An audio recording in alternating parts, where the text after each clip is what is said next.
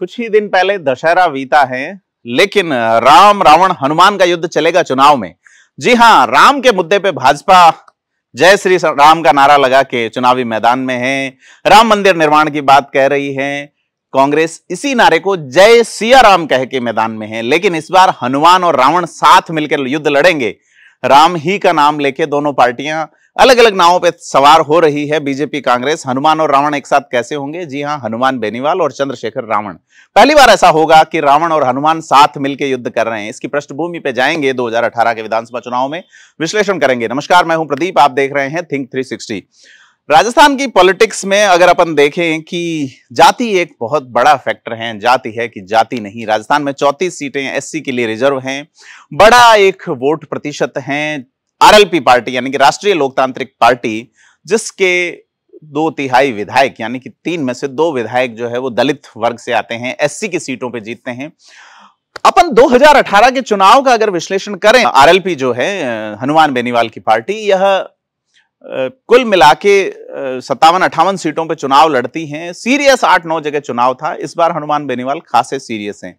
उस वक्त अनरिकॉग्नाइज, यानी कि गैर अधिसूचित पार्टी के तौर पे चुनाव लड़ा था। इस बार राज्य स्तर की पार्टी है। यानी कि पहले राष्ट्रीय स्तर की पार्टियों के नाम आएँगे, जिसमें राजस्थान में जो राष्ट्रीय स्तर की पार्टियाँ चुनाव लड़ रही हैं, उसमें कम्युनिस्ट पार्टी है, उसमें कांग्रेस है, बीजेपी है, बसपा है, आम आदमी पार्टी है। ये पार्टियाँ एनपीपी भी हो सकती है, जो संगमा की पार्टी है। तो इन पार्टियों के कैंडिडेट सबसे ऊपर आएँगे। उसके बाद स्टेट पार्टी की तो हनुमान बेनीवाल से टिकट मांगने वाले कई असंतुष्टों का दौर इस बार चल रहा है। पिछली बार यह जो चुनाव था, वो कंप्लीटली कंप्लीटली एक समाज, यानी कि जाट समाज के लिए आरएलपी ने पूरा एक मैकेनिज्म तैयार किया गया था, जहाँ जाट कद्दावर विधायक लड़ रहे थे। उसमें कुछ ही सीटें हैं। पाँच छह सीटें होंगी मुश्किल से, जिसमें मुकेश भाकर के सामने प्रत्याशी था जिसमें बुरडक को उतारा गया था मुकेश भाकर के सामने, कड़ी टक्कर दी थी। लेकिन चूँकि हनुमान बेनीवाल अपने बराबर किसी युवा नेता को, क्या कांग्रेस में या किसी भी पार्टी में उभरने देंगे, ये सवाल था, ऐसे में मुकेश भाकर के सामने कैंडिडेट उतारा गया। कैंडिडेट उतारा गया हरीश चौधरी के सामने। हरीश चौधरी कांग्रेस के मारवाड़ के कद्दावर नेता है और उनके सामने चुनाव लड़ रहे थे कैलाश चौधरी। कैलाश चौधरी और हनुमान बेनीवाल की अच्छी दोस्ती है। कई समीकरणों के चलते वहाँ पे एक प्रत्याशी उतारा गया। वहाँ बसपा के किशोर सिंह भी का, काफ़ी वोट ले गए। ऐसे में आरएलपी का कैंडिडेट दूसरे नंबर पे रहा प्रभावी चौहटन में उम्मीदवार उतारा गया। तो ये जहाँ जाट एमएलए लड़ रहे हैं वहाँ हनुमान बेनीवाल चुनाव शिद्दत से नहीं लड़ते कुछ कतिपय उदाहरणों को छोड़ के। हनुमान बेनीवाल वसुंधरा राजे को लेकर लगातार हमलावर रहे हैं लेकिन उन्होंने प्रत्याशी नहीं उतारा। हनुमान बेनीवाल, अशोक गहलोत को लेकर हमलावर रहे हैं, प्रत्याशी नहीं उतारा। अशोक गहलोत खेमे के टॉप 20 नेताओं के खिलाफ उन्होंने कैंडिडेट नहीं उतारा, और वसुंधरा राजे खेमे के तो टॉप 25 नेताओं के खिलाफ प्रत्याशी नहीं उतारा। बड़ा सेफ़ गेम 2018 में खेला, और इसी सेफ़ गेम का एक अगला रूप 2023 में देखेंगे आप, जहाँ उन्होंने हनुमान ने रावण से हाथ मिलाया है। अब इसमें फ़ायदे में रावण रहेंगे या हनुमान यह देखने वाली बात होगी। हनुमान जो कि राम ही के आदेशों पर रामायण में चलते रहे हैं, अब अपने अंदाज, अपने तेवर और अपने ही एक उत्साह के साथ बढ़ रहे हैं। अपनी उनकी एक टीम है, एक फ़ैन फॉलोइंग है। और सबसे बड़ी बात, एक अनूठी राजनीतिक समझ है। हनुमान बेनीवाल जो बोलते हैं, वो उनके जो स्पेक्टेटर्स हैं, उनके वोटर हैं, उनके इलेक्टर्स हैं, उनके लिहाज से वो काफ़ी मायने रखता है। उनके पास एक टीम है। अब वो टीम इस बार विधानसभा चुनाव में किस तरह से परिणाम प्रभावित करेगी? क्या हनुमान बेनीवाल बीजेपी के टॉप नेताओं के खिलाफ कैंडिडेट उतारेंगे? जैसा उन्होंने पिछली बार नहीं किया। क्या हनुमान बेनीवाल कांग्रेस के टॉप नेताओं के खिलाफ कैंडिडेट उतारेंगे जैसा कि उन्होंने पिछली बार नहीं किया? यह बड़ा सवाल है। क्या हनुमान बेनीवाल के जो कदम हैं, वो सधे हुए हैं या साधे हुए हैं? सबसे बड़ा सवाल यहाँ उपजता है। क्योंकि 100 सीटों पे जहाँ चुनाव लड़ने की बात है तो बाकी 100 सीटों पे क्यों नहीं लड़ रहे हैं? एक बड़ा प्रश्न है। बसपा क्या करेगी, जबकि बसपा 1990 से राजस्थान में चुनाव लड़ रही है और आज तक एक भी दलित विधायक बसपा के टिकट पर नहीं चुना गया है। राजस्थान में 34 सीटें दलितों के लिए आरक्षित हैं और 35 विधायक हैं। जी हाँ, एकमात्र कांग्रेस से अतिरिक्त अनारक्षित सीट पर रूपाराम धनदेव विधायक है। उसी सीट पे विचार चल रहा है। मानवेंद्र सिंह शिव को उतारा जाए। डिमांड है यह करने की। सालेह मोहम्मद की पोखरण विधायक की, जो कि अल्पसंख्यक मामलों के मंत्री हैं, जैसलमेर ज़िले में खासा होल्ड रखते हैं गाजी फकीर के बेटे हैं, जिला प्रमुख रह चुके हैं, पहले भी विधायक रहे हैं। उनका कहना है कि अगर मानवेंद्र सिंह को जैसलमेर से टिकट नहीं दिया गया तो मैं चुनाव नहीं लड़ूँगा। अब हरीश चौधरी अड़े हुए हैं कि आप रूपाराम धनदेव का टिकट नहीं काटें। रूपाराम धनदेव को अलग जगह शिफ्ट करने की बात चल रही है, लेकिन क्या रूपाराम चौहटन जाएँगे? क्या रूपाराम रेवदर जाएँगे? क्या रूपाराम जालोर जाएँगे?